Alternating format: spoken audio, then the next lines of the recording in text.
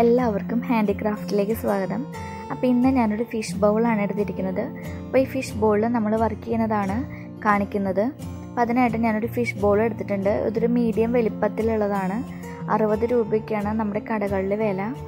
എന്നിട്ട് അതിലേക്ക് നമ്മൾ ടിഷ്യൂ പേപ്പർ ഒട്ടിച്ചു കൊടുക്കുകയാണ്. അതിനായിട്ട് ഞാൻ ഒരു ടീസ്പൂൺ പശയ്ക്ക് അര ടീസ്പൂൺ വെള്ളം അങ്ങനെ രീതിയിൽ ഒരു മിക്സ് തയ്യാറാക്കുകയാണ്.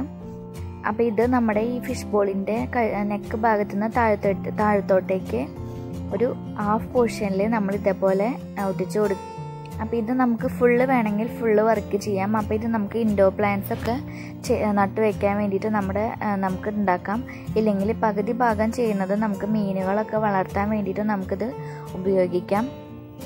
അപ്പോൾ ഞാനിതുപോലെ ഫുള്ള് ടിഷ്യൂ പേപ്പർ ഹാഫ് പോർഷനിൽ ഒട്ടിച്ചു കൊടുക്കുകയാണ് അപ്പോൾ ഇത് നന്നായിട്ട് ഡ്രൈ ആയി കഴിഞ്ഞിട്ടുണ്ടെങ്കിൽ നമ്മൾ പെയിന്റ് ചെയ്ത് കൊടുക്കണം.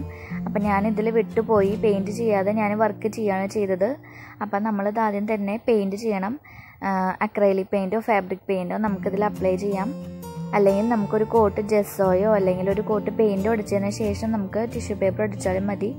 എന്നിട്ട് ഞാനിവിടെ എടുത്തിരിക്കുന്നത് എം സിയിലാണ് ഈ എം സിയിൽ രണ്ട് പോർഷൻ ഉണ്ടാവും. അത് ഈക്വൽ പാർട്സിൽ മിക്സ് ചെയ്യാം. ടലക്കം പൗഡർ ഉപയോഗിച്ചിട്ട് മിക്സ് ചെയ്തതിന് ശേഷം ഇതേപോലെ പെറ്റൽസ് ഉണ്ടാക്കുകയാണ്. ഇതേപോലെ ഷേപ്പിൽ ഞാൻ ഇവിടെ ടൂൾസും ഉപയോഗിക്കുന്നില്ല.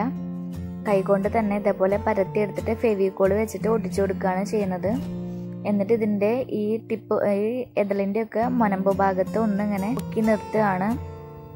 ടാൽക്കം പൗഡർ ഉപയോഗിച്ചിട്ട് ഒന്ന് സ്മൂത്ത് ആക്കി കൊടുക്കുകയാണ്. അങ്ങനെ ഇതളുകളൊക്കെ ചെയ്തെടുക്കുകയാണ്. ഞാൻ ഈ ഒരു ഭാഗത്ത് ഈ ഒരു പൂവും പിന്നെ രണ്ട് മൂന്ന് വള്ളികൾ പോലെയാണ് ചെയ്തു കൊടുക്കുന്നത്. അപ്പം നിങ്ങൾക്ക് റോസാപ്പൂവോ അല്ലെങ്കിൽ വേറെ ഏതെങ്കിലും തരത്തിലുള്ള പൂക്കളും ഡിസൈനുകളൊക്കെ ചെയ്യാവുന്നതാണ്. നമ്മുടെ ചാനലിൽ തന്നെയുണ്ട് റോസാപ്പൂവും പിന്നെ നമ്മുടെ വാടാമല്ലിപ്പൂവില്ലേ നമ്മൾ പൂക്കളൊക്കെ ഇടാൻ വേണ്ടിയിട്ട് പൂക്കൾ വാങ്ങിക്കുമ്പോൾ കിട്ടുന്ന ഒരു വയലറ്റ് കളറുള്ള പൂവുണ്ട്. വാടാർമല്ലി എന്ന് പറഞ്ഞിട്ട് എല്ലാവർക്കും അറിയും. ആ പൂവും ഉണ്ടാക്കുന്ന വീഡിയോ നമ്മൾ നമ്മുടെ ചാനലിൽ ചെയ്തിട്ടുണ്ട് മുന്നേ തന്നെ. എം സിയിൽ ഉപയോഗിച്ചിട്ട് അങ്ങനെ തന്നെ നമുക്ക് ക്ലേ ഉപയോഗിച്ചിട്ടും ചെയ്യാവുന്നതാണ്. അപ്പോൾ എല്ലാവരും അതൊന്ന് കണ്ടു നോക്കി നോക്കണം. നമ്മുടെ പ്ലേലിസ്റ്റിലുണ്ട് എം സിയിൽ ആർട്ട് എന്നുള്ളതിൽ ചെക്ക് ചെയ്ത് നോക്കിയാൽ മതി. എന്നിട്ട് ഞാനിതൊരു കമ്പിയാണ് എടുത്തിരിക്കുന്നത്. ആ കമ്പി കൊണ്ട് കമ്പി ഇല്ലെങ്കിൽ കത്തിയോ അല്ലെങ്കിൽ പേനയുടെ റീഫിലോ അതിന്റെ നിബ് കൊണ്ടൊക്കെ കുത്തി കൊടുക്കാവുന്നതാണ്. എന്നിട്ട് കുറച്ച് പോർഷൻ ഇതേപോലെ നീളത്തിൽ ചുരുട്ടിയെടുക്കുകയാണ് എന്നിട്ട് ഇത് വള്ളി പോലെ ഒട്ടിച്ചു കൊടുക്കുകയാണ് ഫെവിക്കോൾ വെച്ചിട്ട് തന്നെയാണ് ഒട്ടിച്ചു കൊടുക്കുന്നത്. അങ്ങനെ വള്ളികളും വെച്ച് കൊടുക്കുകയാണ്.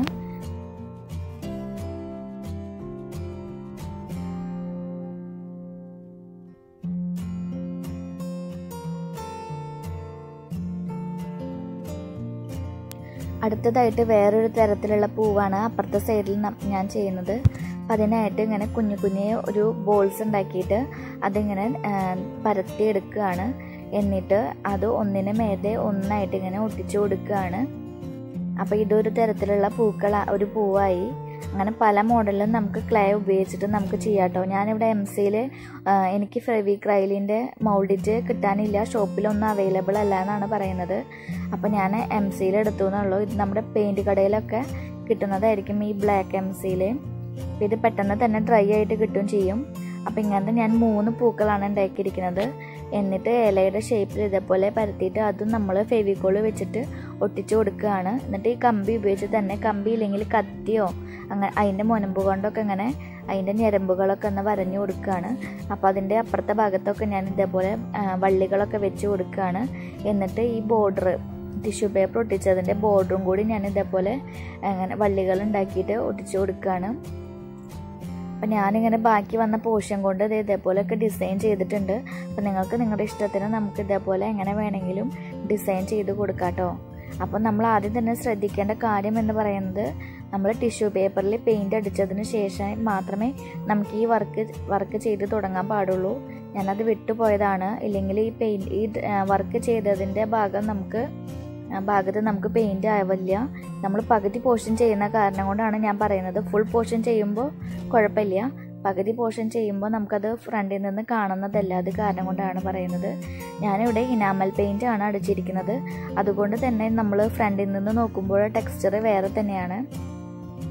എന്നിട്ട് ഞാൻ കുറച്ച് കടുക് ഞാൻ ഇതേപോലെ ഈ സൈഡിലും നടുക്കിലും ഈ വള്ളികളുടെ ഭാഗത്തൊക്കെ കടുക് ഫാബ്രിക് ഗ്ലൂ വെച്ചിട്ട് ഒട്ടിച്ചു കൊടുക്കുകയാണ് ചെയ്തത്. അത് നന്നായിട്ട് ഉണങ്ങിയതിന് ശേഷം പെയിന്റ് അടിച്ചു കൊടുക്കുകയും ചെയ്തിട്ടുണ്ട്. അപ്പോൾ ഇത് നിങ്ങൾക്ക് എം സിയിൽ ചെയ്യുന്ന സമയത്ത് തന്നെ ചെയ്യാവുന്നതാണ്. ഞാനത് കഴിഞ്ഞിട്ടാണ് ഞാനത് ചെയ്തത്. എനിക്കപ്പോഴാണ് ഐഡിയ വന്നത്.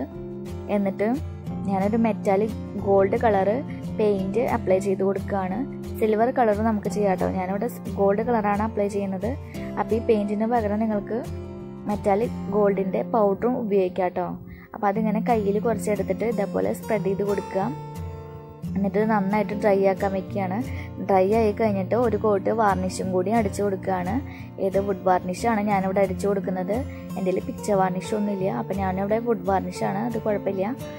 അടിച്ചു കൊടുക്കുകയാണ്. എന്നിട്ട് നമ്മൾ ഇനി വർക്ക് ചെയ്യാത്ത ഭാഗം ഫുള്ള് നമ്മൾ നന്നായിട്ട് ക്ലീൻ ആക്കണം. വെള്ളം തുടച്ചിട്ട് നന്നായിട്ട് ക്ലീൻ ആക്കി എടുക്കണം കേട്ടോ. അപ്പോൾ ഇതിന്റെ ഫ്രണ്ടിൽ നിന്നുള്ള വ്യൂ ഇതാണ്. അപ്പോൾ കണ്ടില്ലേ ഉള്ളിലേക്ക് ടെക്സ്ചർ കാണുന്നില്ലേ? അത് ഇനാമൽ പെയിന്റ് അടിച്ച കാരണം കൂടാണ് കേട്ടോ. അക്രൈലിക് കളറോ അല്ലെങ്കിൽ ഫാബ്രിക് പെയിന്റോ അടിക്കുമ്പോൾ ഒന്നുകൂടി ടെക്സ്ചർ വ്യത്യാസം ഉണ്ടാവും അപ്പോൾ നിങ്ങൾ അത് യൂസ് ആ പെയിന്റുകൾ യൂസ് ചെയ്യുക. പിന്നെ വാർണിഷ് അടിക്കാൻ മറക്കരുത്. പിന്നെ നമ്മുടെ ക്യാമറയിൽ കാണുന്ന പോലെയല്ല നേരിട്ട് കാണാൻ. ഒന്നുകൂടി ഗോൾഡിന് നല്ല ഗ്ലേസിങ് ഉണ്ട്. അപ്പോൾ ഇത് നിങ്ങൾക്ക് ഫുള്ള് ചെയ്യണമെങ്കിൽ ഫുള്ള് ചെയ്യാം. ഇല്ലെങ്കിൽ ഹാഫ് പോർഷനിൽ ചെയ്തിട്ട് നമുക്ക് മീനുകളൊക്കെ ഇട്ട് വെക്കാം. എല്ലാവർക്കും വീഡിയോ ഇഷ്ടമായെന്ന് വിചാരിക്കുന്നു. താങ്ക്